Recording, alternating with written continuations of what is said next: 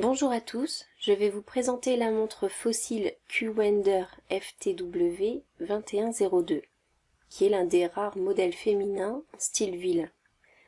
Cette montre est disponible à l'achat en France depuis octobre 2016 pour un montant de 249 euros.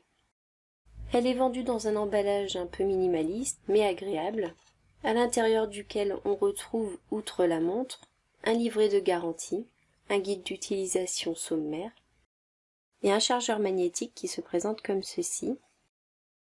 À l'ouverture de la boîte, la montre est déchargée. Il y a 20 minutes de chargement à prévoir avant de pouvoir l'appareiller et la mettre à jour avec Android Wear. Cette opération d'appareillage se fait assez rapidement en suivant les instructions de la montre. Au niveau esthétique, c'est un modèle assez féminin qui a donc un cadran rond de couleur or rosé et le diamètre de l'écran est de 45 mm. L'épaisseur du cadran est assez impressionnante puisqu'elle est de 14 mm. Le bracelet est en cuir marron clair d'une largeur de 22 mm. La montre est tout de même assez imposante et si vous n'aimez pas les gros modèles, il y a peu de chances que celui-ci vous convienne. Pour ma part, j'ai un poignet de 15,5 cm de diamètre et je règle la montre à l'avant-dernier trou.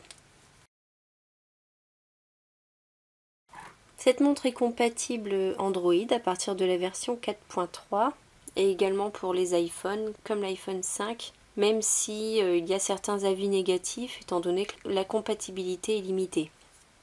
Pour savoir quelle est votre version Android sur votre téléphone, il faut aller dans les paramètres, général, à propos du téléphone,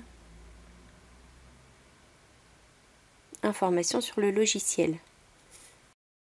Au niveau des caractéristiques techniques, la montre reçoit le Wi-Fi, le Bluetooth, elle a une mémoire interne de 4 Go et une batterie de 360 mAh, ce qui n'est pas exceptionnel pour une montre, mais ce qui est euh, suffisant pour tenir une autonomie annoncée d'une journée. Il y a un capteur de luminosité ambiante et elle ne perd pas de lisibilité euh, lorsqu'on est en extérieur, je ne vais peut-être pas parler de soleil puisque je ne l'ai utilisé qu'en hiver en Picardie. La durée de charge annoncée est de 80% en 2 heures et c'est effectivement ce que j'ai constaté. Au niveau étanchéité, nous sommes à la certification IP67, c'est-à-dire qu'elle ne, peut pas aller dans l'eau. Elle peut recevoir des éclaboussures, mais euh, il ne faut pas aller plus loin que cela. C'est un écran tactile où l'heure est toujours visible. Et le gyroscope intégré permet lorsque je tourne la montre vers moi, de l'allumer automatiquement, mais également d'utiliser les commandes par geste d'Android Wear. Le bouton sur le côté de la montre me permet de sortir d'une application et de revenir sur l'écran horaire. Il y a également les périphériques intégrés et ce qui est vraiment intéressant c'est de retrouver non seulement le micro mais également euh, le haut-parleur. Il y a les spécificités de la marque qui propose une belle collection de cadrans qui sont assez variés et pour certains personnalisables. Alors pour accéder à ces cadrans, il y a un raccourci où je reste appuyé sur l'écran. Et voici, donc moi j'utilise celui-ci, Boyfriend, que je peux également personnaliser en changeant la couleur du fond, le style des aiguilles, la couleur des aiguilles, il y a des écrans un peu plus fun comme celui-ci.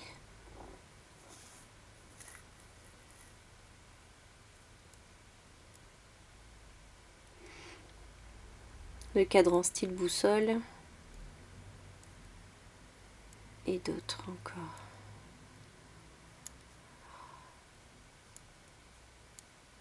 Google Fit. Celui-ci est joli également.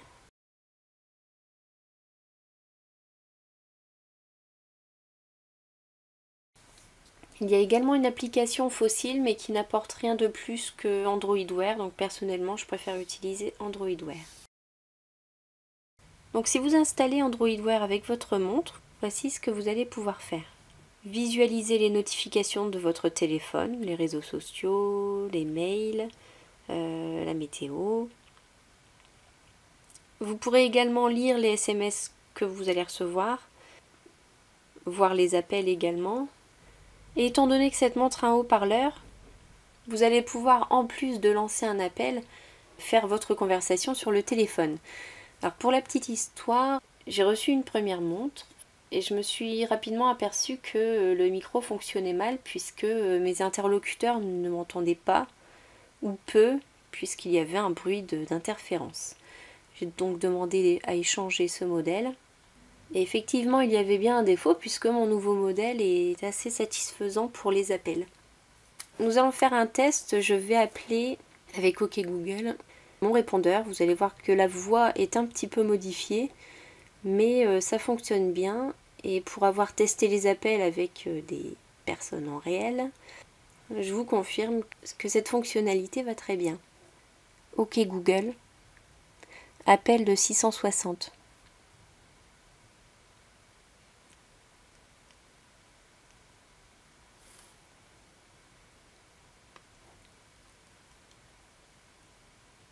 pas de nouveau message. Menu principal. Pour écouter vos messages, tapez 1 pour personnaliser votre répondeur, tapez 3 pour accéder au service de renvoi d'appel, tapez 5 pour une présentation de votre répondeur, tapez 0. Menu principal. Alors, au niveau des appels, vous avez vu que j'ai dû régler le son assez bas au niveau des haut-parleurs, puisque sinon mes interlocuteurs euh, s'entendaient en écho en fait.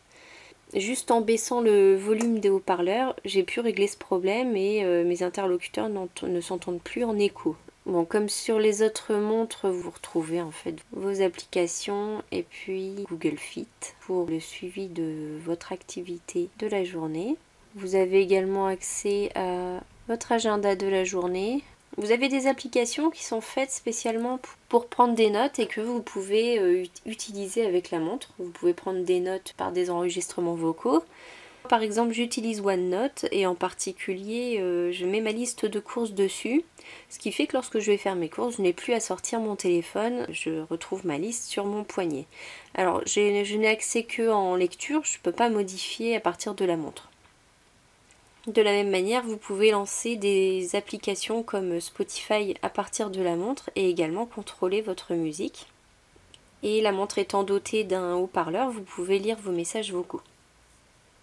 J'apprécie tout particulièrement les fonctionnalités OK Google qui permettent de lancer les applications, enregistrer un réveil, un rappel, faire un calcul, envoyer un SMS, lancer Shazam, Fossil propose également toute une collection de bracelets interchangeables pour des tarifs qui vont de 19 à 45 euros. En conclusion, cette montre fossile n'est pas forcément un modèle à choisir pour le sport avec son bracelet en cuir. Elle n'a pas non plus de GPS, donc vous ne pourrez pas aller courir sans votre téléphone par exemple. Mais bon, pour cela, il existe des modèles un peu plus abordables comme euh, le Sony Smartwatch 3 qui a un GPS même s'il n'a pas de, haut-parleur et qui se vend aujourd'hui 119 euros. Cette fossile Q-Wender est l'un des rares modèles féminins de style ville et en tout cas c'est l'un des moins chers à l'heure actuelle euh, en France. Le gros avantage pour moi est qu'il a un haut-parleur et puis il y a également tous les avantages d'une montre connectée alliée à une belle esthétique. Globalement, je suis assez contente de ne plus avoir à sortir mon téléphone euh, à tout moment de la journée. Je peux regarder mon planning du jour, lire mes messages, y répondre, contrôler la musique, faire des calculs, écouter les messages vocaux, passer des appels. Je vous remercie d'avoir suivi cette vidéo, j'espère avoir répondu à vos questions au sujet de cette montre fossile Q-Wender. A bientôt